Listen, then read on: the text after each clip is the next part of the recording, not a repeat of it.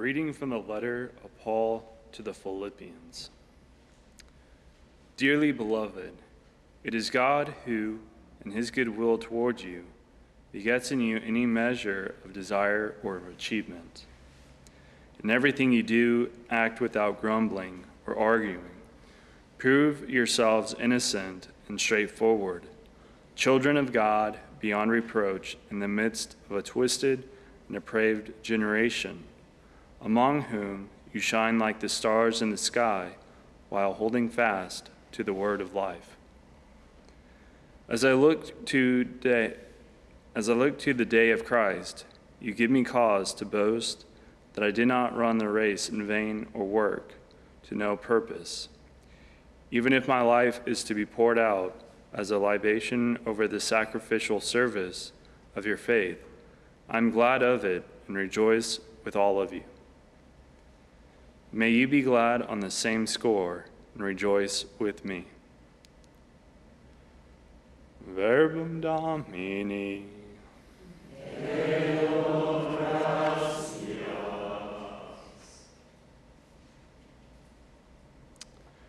The just man shall be in everlasting remembrance.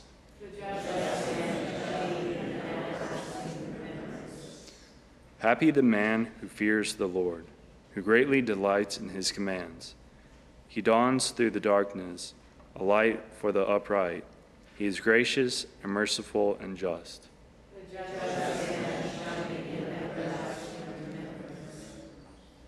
Well for the man who is gracious and lends who conducts his affairs with justice. He shall never be moved.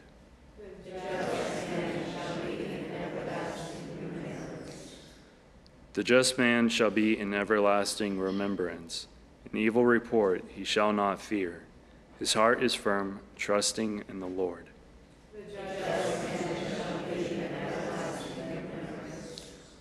Lavishly he gives to the poor. His generosity shall endure forever. His horn shall be exalted in glory.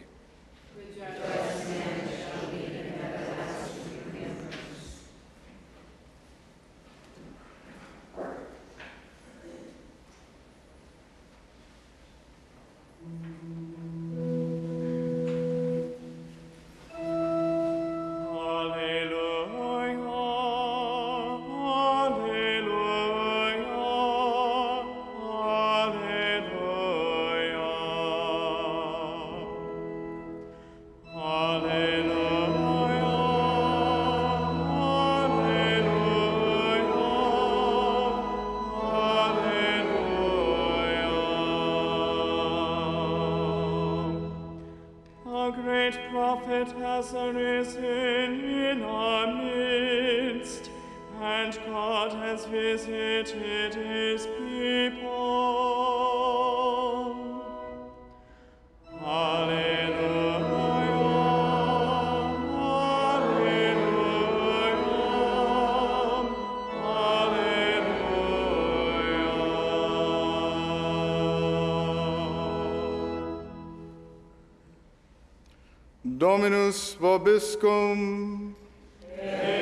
spiritu tuo. Sancti Evangelii secundum Ioannem. Gloria tibi, Domine. This is my commandment. Love one another as I have loved you.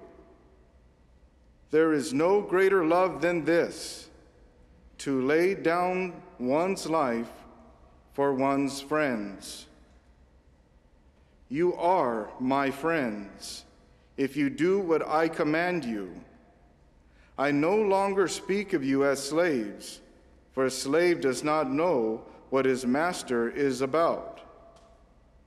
Instead, I call you friends, since I have made known to you all that I heard from my Father. It was not you who chose me, it was I who chose you to go forth and bear fruit. Your fruit must endure, so that all you ask the Father in my name, he will give you. The command I give you is this that you love one another. Verbum Domini, Laus tibi Christe.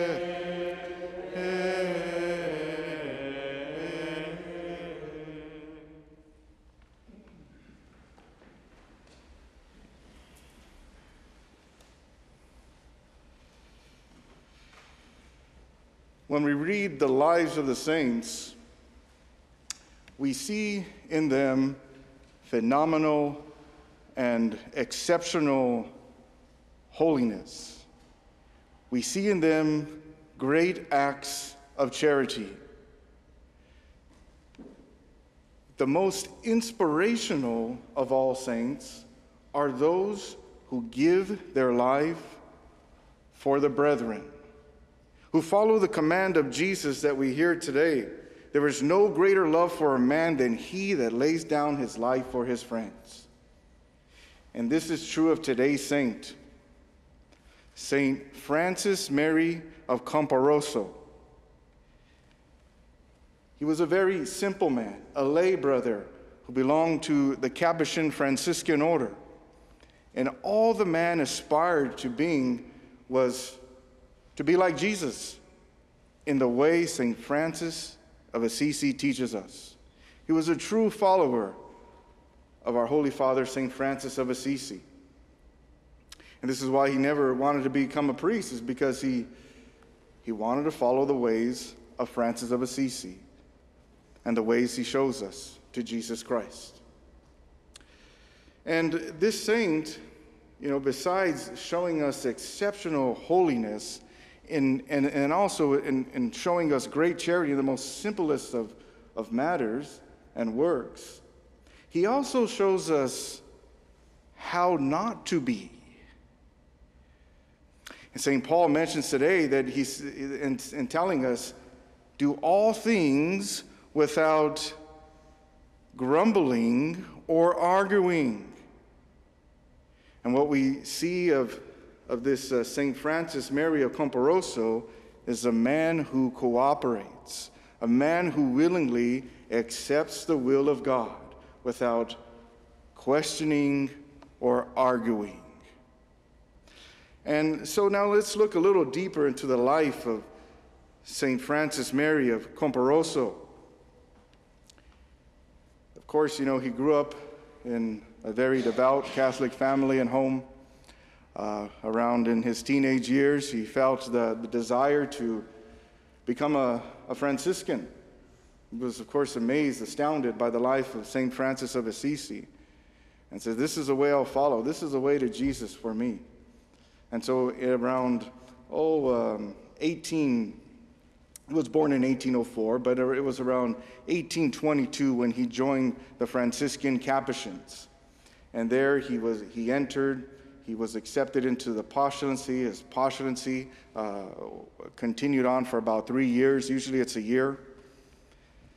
After that, around 1825, he became a novice. And it was there that his superior started to see his holiness. You know, that, that this was exceptional, this was, this, was, uh, this was unusual.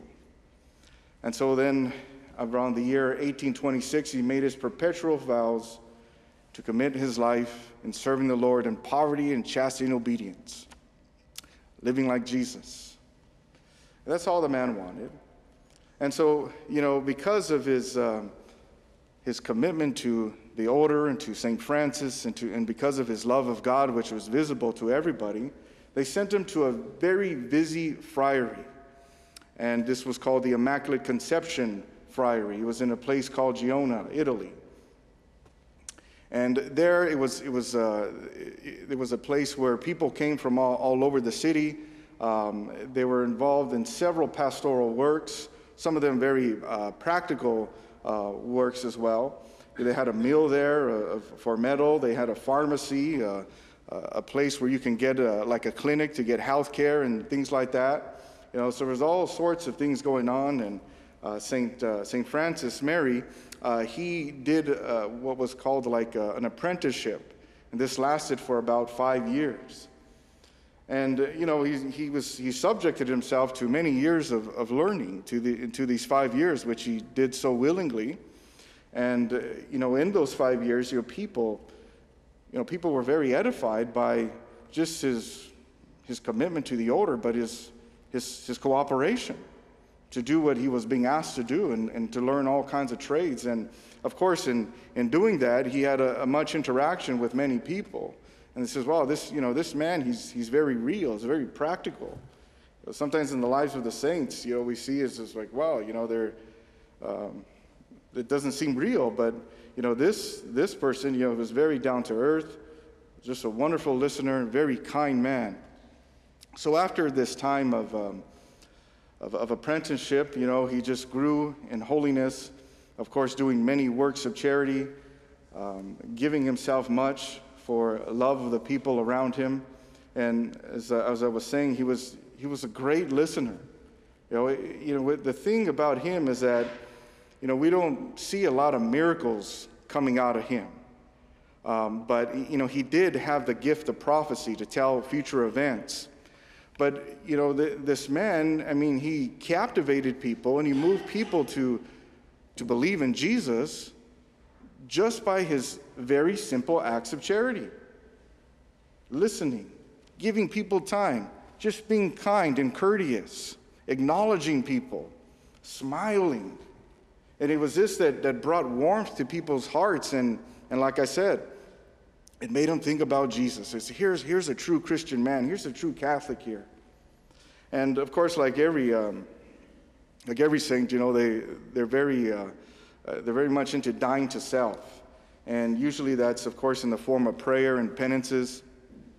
But uh, St. Francis Mary was very uh, extreme in these uh, penances and mortifications that his superiors, they, they had to tell him to calm down. He willingly accepted that too. Says, okay, you know, I'll do that. And there he goes on. But toward, um, you know, as I was saying, that he was a man who really didn't argue or, or question, but, but cooperated.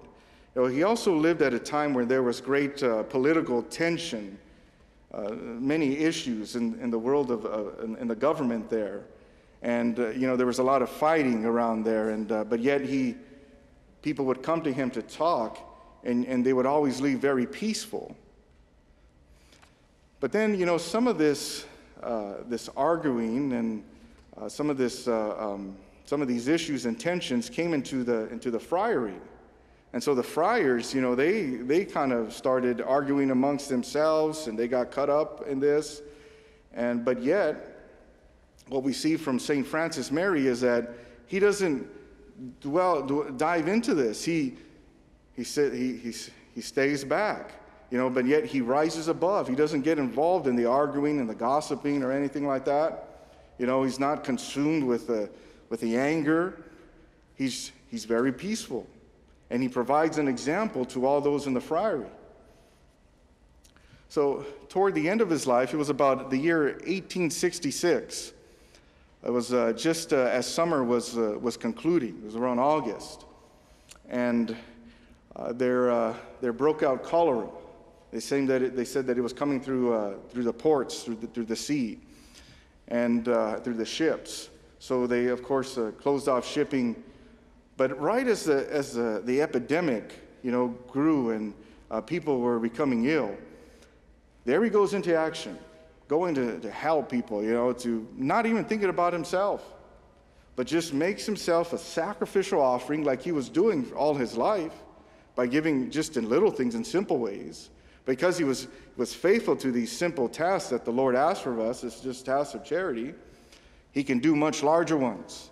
So, when the, so as the cholera broke out, there he goes, helping the, the, the sick and the wounded, the, the needy, the poor. But as a result of this, he became sick himself. And then he eventually died on, uh, on September 15th, 1866. And Within a few weeks following his death, the epidemic disappeared. Nobody was sick. And they attributed this to the prayers of St. Francis Mary of Camporosso. It says, wow, you know, it's, it's his prayers. You know, many of the saints have said that I will spend my eternity, I will spend my heaven doing good in earth. This is what we see here of St. Francis Mary. And, you know, this is the, the type of holiness that we should aspire to. And this is, this, is, this is observing the command of Jesus today love one another as I have loved you. You know, but that could be a little difficult. There can be an obstacles there. As I was saying earlier, the teaching of St. Paul. What, is, what could be the obstacle? Grumbling and arguing. You know, we, we are asked to do something, say at the parish, say by our confessor or spiritual director or our, our, our pastor, a priest, or somebody in the head of an organization in the, inside the church. They, they tell us to do something. There we go, you know, all fuming already and grumbling within ourselves and, um, you know, seeking a way to, to argue and bring dissension. And, and as a result of that, that brings division. Oh, and this, this could impede our, our, our path to holiness you know, kind of clog the channels of graces coming through. You know, but as we learned from St. Francis Mary, he submits, he cooperates what God is doing.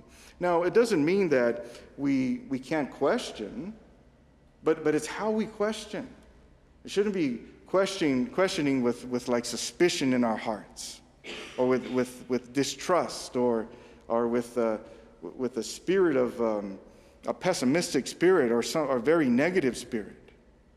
We, you know, and, and even, even if, we, if we see that there's maybe something wrong in what we're being told, but, you know, making a suggestion, but doing this in kindness, in humility, not, not in grumbling and arguing.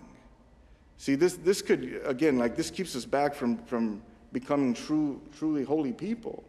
Know, like, like I was saying, you know, with the simple things, you know, that this is where this is what, how this saint arose to holiness by just doing simple acts of charity and doing them well. But if we're in a state of grumbling, always arguing or, or pouting or whining, then you know we're, we're, so, we're, we're very self-focused and, and selfish that you know we, we forget about doing these very simple acts of charity. And so, my brothers and sisters, you know, that taking on you know certain tasks of being obedient to, to those who are leaders requires some dying to self. You know st paul here uh, mentions that, that making himself a sacrifice. And that's what we need to do as well when we're told to do something or when we're told to correct something about us he says okay i will do it you know we shouldn't be like well what about them how come they're not doing it? how come you didn't ask them well look they have the same problem how come you're not talking to them it's not about them, it's about, it's about us. You know, what, what, what God is doing in us and being submissive to what He's trying to tell us. See? Then again, there we go advancing. But this is, this is a very powerful way to, uh, of, of sacrificing ourselves, of dying to the flesh by not grumbling and questioning. If, there, if there's something, if this is, just seems like natural to us, maybe it's a habit we've had for years, then ask the Lord for healing. Say, Lord, heal me from this. You know, bring it to Him. It's a, it's a way also to, to offer it up. You know, this, is, this is how, like I said, this, this will only bring us to, to become holier, only dying to the flesh. And as we die with Christ, so we rise with Him.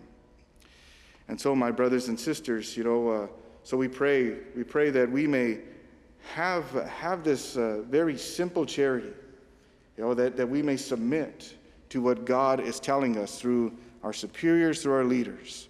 We may cooperate without grumbling and questioning. And all of this, all of this for the purpose of glorifying God. And so that we could, you know, rise in love. And even in just the simple things, which, which these simple things are, are the most powerful. So again, we ask for the prayers of St. Uh, Francis Mary Camporosso, and we ask that, that he uh, pray for us on our journey. We know that his prayers are, are powerful in eternity. I mean, we just heard about that, what, what happened with the cholera disease. So we ask him to pray for us that, you know, we, we may submit ourselves and we may rise in, in the love and the sacrifice and the glory of the Lord. God bless you all.